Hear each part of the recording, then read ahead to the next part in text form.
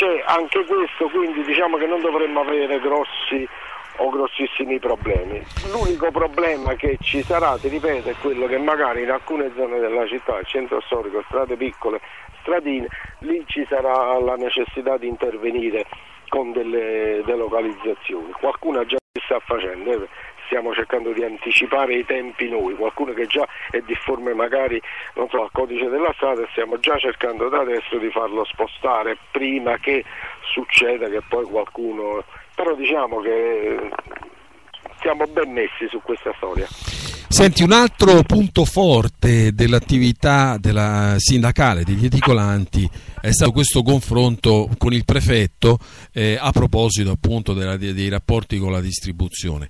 Eh, siete arrivati fino al punto di fare uno sciopero, se non ricordo male, e quindi vogliamo capire un po' eh, com'è ad oggi eh, la situazione, che cosa eh, si prospetta, considerando appunto il fatto che è stato un, un punto di scontro piuttosto forte eh, con la distribuzione che voi mh, avete proprio condotto eh, su un punto eh, fino al coinvolgimento del, eh, del prefetto. Sì Fabio, su questa storia c'è, da fare una premessa perché eh, qua a Napoli cosa è successo? Che le organizzazioni sindacali, come dicevo l'altra volta, hanno seguito un percorso istituzionale, cioè quello di rivolgersi alla prefettura e avere in quella sede un quadro chiaro. Un quadro chiaro cosa significa? Significa che l'agenzia di distribuzione insieme a noi abbiamo, abbiamo, evidenziato un problema. L'agenzia di distribuzione ha detto sì, effettivamente il problema c'è e cercheremo di intervenire. La realtà è che forse fino ad oggi non è che si sia fatto molto. Questo che cosa ha creato? Che un gruppo di regolanti, tu lo sai, eh, praticamente ha deciso di agire per conto proprio. Eh, ci sono stati degli scontri eh, con l'agenzia di distribuzione eh, legali, eh, scontri legali, eh, eh, che purtroppo non è che fino ad oggi si siano avuti dei risultati confortanti. Però voglio dire, su questo tema io voglio spendere una parola perché non si può dire che qualcuno abbia vinto e qualcuno abbia perso perché in questo caso io credo che qui eh, stiamo perdendo un pochettino tutti, perché ti dico questo? Perché anche se eh, l'agenzia di distribuzione in questo scontro legale abbia avuto per adesso eh, dire, una partita vinta, il problema di fondo qual è? Che c'è un malessere in categoria che oggi magari 40-50 edicolanti lo hanno espresso in maniera autonoma, ma la realtà dei fatti è che il problema è di tutti. Allora voglio dire, oggi bisognerebbe che noi, un poco tutti, un attimo le bocce e si incominci a ragionare, ma principalmente l'agenzia di distribuzione deve prendere atto che su questa piazza non è che c'è una gioia infinita voglio dire che tutti stanno, deve prendere atto che qui c'è un malessere e dietro questo deve cominciare a fare qualche passo indietro e cercare di dialogare e riprendere come dire, un, uh, un, qualche cosa che si è rotto, che è finito, perché se altrimenti si va avanti così la situazione non è che poi col tempo può migliorare. Perché? Perché praticamente se oggi il malcontento lo hanno rappresentato 30, 40, 50 persone, domani se si continua su questa strada durezza dello scontro, molto probabilmente il malcontento può crescere e possono diventare 100, possono diventare 150, possono diventare 200 e allora poi si va a finire in, eh, dire, in una situazione che poi non è più gestibile da nessuno. Perciò dicevo che oggi, voglio dire, anche se ci sono stati magari eh, qualche riferimento legale eh, che dia ragione a uno e meno ragione a un altro, questo non significa che la situazione si sia rasserenata, anzi secondo me forse, ripeto, oggi è il momento, è il momento necessario che si fermino un attimo le bocce a partire dal distributore agli edicolanti, alle organizzazioni sindacali, si faccia un punto serio sulla situazione e si cerchi di svelenire eh, questo clima che c'è. ripeto, altrimenti non si sa più veramente dopo a che cosa finire. Eh, però non sembra che tiri quest'area, cioè voglio dire, nonostante eh, il vostro impegno sindacale, che poi vuol dire riuscire a portare su un terreno eh, di confronto, chiamiamolo così, concertativo, va perché, per intenderci, eh, questa materia difficile, eh, nonostante questo poi eh, ci sono state le fughe solitarie del ricorso eh, presso, presso, l'autorità giudiziaria che eh, chiaramente possono portare ad un invelenimento del clima e quindi a una sostanziale debacle, perché poi in una situazione del genere chi ci guadagna è sempre più forte, lo sappiamo benissimo. Un attimo. Prego.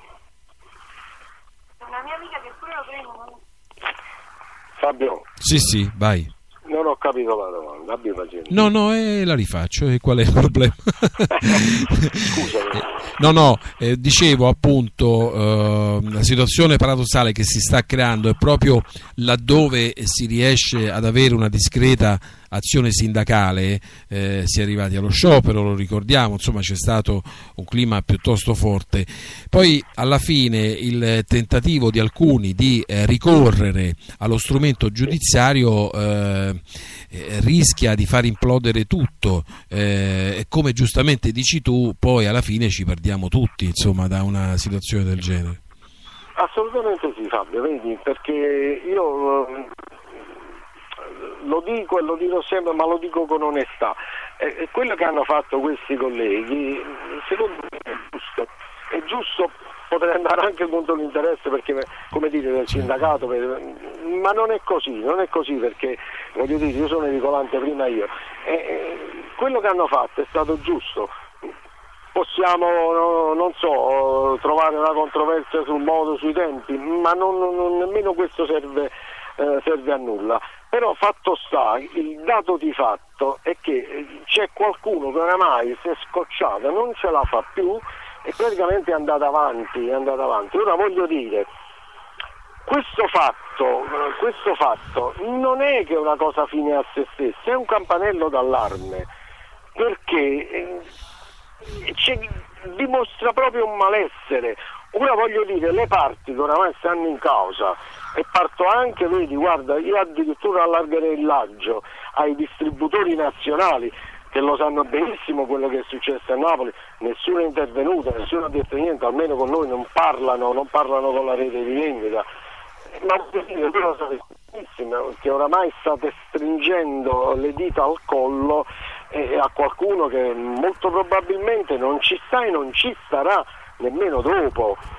Eh, ecco perché dicevo io, quello che può essere stato magari un giudizio non è che è la fine di un discorso, cioè voglio dire Fabio, qua non è che sono due persone che hanno fatto una lite giudiziaria, due persone che non si conoscono.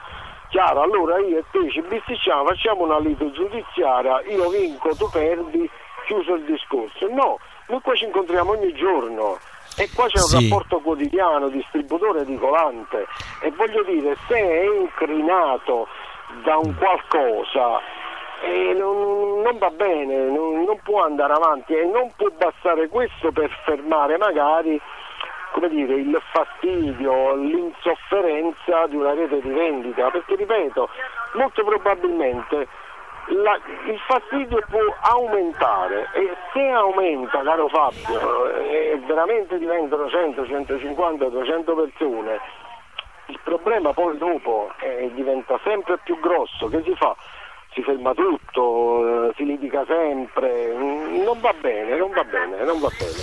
Perciò dico tutti devono fare un passo indietro, principalmente il distributore e chi ci sta dietro, cioè i distributori nazionali e gli editori, forse più distributori nazionali, devono cominciare a rendersi conto e capire che qua la situazione, e non parlo solo di Napoli, eh, perché voglio dire questa è una situazione che va in tutta Italia, se qui la situazione comincia ad esplodere un po' da tutto, e che si fa? Va bene, allora ehm, Aldo, noi ti ringraziamo eh, di questa testimonianza. Due punti eh, caldi abbiamo affrontato da un punto di vista eh, sindacale, quello del rapporto eh, con eh, i distributori.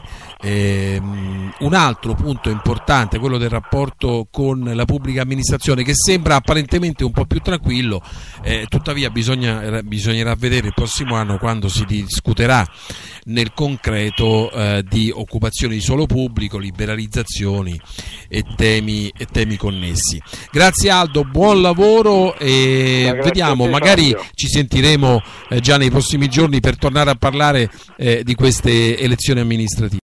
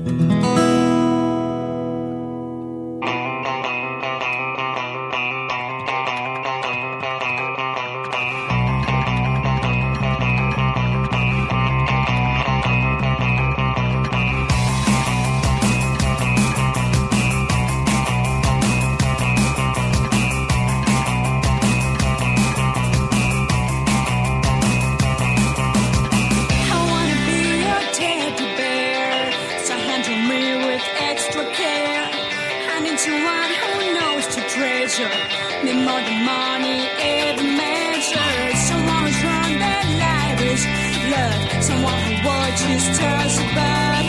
At first she serves to smell the flowers. At first she robs in April shower.